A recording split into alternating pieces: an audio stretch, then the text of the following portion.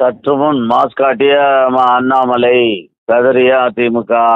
அதாவது நம்மளுடைய அண்ணாமலை வந்து இப்போ எச்சரிக்கை விடுத்திருக்கிறாரு. ரெண்டு நாளைக்குள்ள வந்து தீவிரவாதிகளை இந்த இந்த மாதிரி பெட்ரோல் கூட்டு நல்லா கைது பண்ணல. நீ பண்ணலைன்னா நான் பா சட்டத்தை நாங்கள் கையில் எடுக்க வேண்டியது இருக்கும். மத்திய அரசினுடைய நேர் நேரடி பார்வையில் வந்து கைது செய்யப்படுவாங்க அப்படின்னு ஒரு மிரட்டல் எடுத்திருந்தாரு அவர் உடனே வந்து டிஜிபிக்கு இங்கே கொஞ்சம் உள்ளுக்குள்ள ஒரு பயம் வந்துச்சோ என்னமோ பெட்ரோல் கொண்டு வீசினவனுங்களை கைது செய்யப்படும் அவர்கள் அப்படின்னு சொல்லி ஒரு அறிக்கை விட்டுருக்குறாங்க அப்படின்னாங்க. இது வந்து அண்ணாமலைக்கு கிடைத்த வெற்றியாக கருதப்படுது.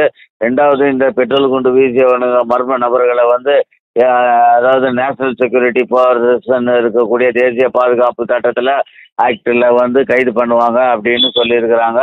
இது வரவேற்கக்கூடியது.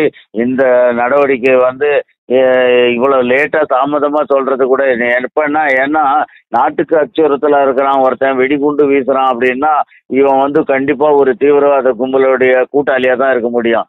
இல்லாட்டினா சாதாரணமா வந்து அந்த அளவுக்கு ஒரு ஏதோ எதிர்ப்புன்னா எதிர்ப்பை தெரிவிச்சுட்டு போவான் கோஷம் போட்டுட்டு போவான். இது ஜனநாயக முறையில் நடக்கக்கூடியது. ஆனால் பெட்ரோல் குண்டு வீசுறான் அப்படின்னா இவங்ககிட்ட நல்ல வேற ஏதாவது பவர்ஃபுல் குண்டு இருந்தாலும் வீசத்தானே செய்வான்.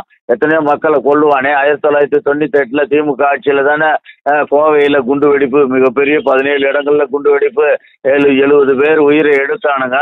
அதனால வந்து இந்த குண்டு வெடிப்பு நடக்கிறத வந்து திமுக ஆட்சியில குண்டு வெடிப்புன்றது சகஜமாகவே நடக்கும் அப்படின்ற மாதிரி. இதை வந்து தேசிய பாதுகாப்பு வந்து நாங்கள் கைது செய்யப்படுவோம் அப்படின்னு சொல்றது வந்து நாட்டு மக்களுக்கும் நாட்டுக்கும் வந்து இது ஒரு செக்யூர் அப்படின்ற மாதிரி தான் இது அப்பாவி இளைஞர்களை வந்து தப்பான வழியில் வழி தவறி வழிகாட்டுறதுனால வரக்கூடிய வினைதான் இது. தலைவன் சொல்லிட்டு அவன் வாட்ட போயிடுவான். ஆனால் தொண்டை போய் எதையாவது செஞ்சுட்டு போய் நல்ல சிக்கலில் மாட்டி தன் குடும்பத்தையும் வாழ்நாளையும் அழிச்சு நடுத்தருவுக்கு போயிடுவான் அப்படின்ற மாதிரி இருக்கு.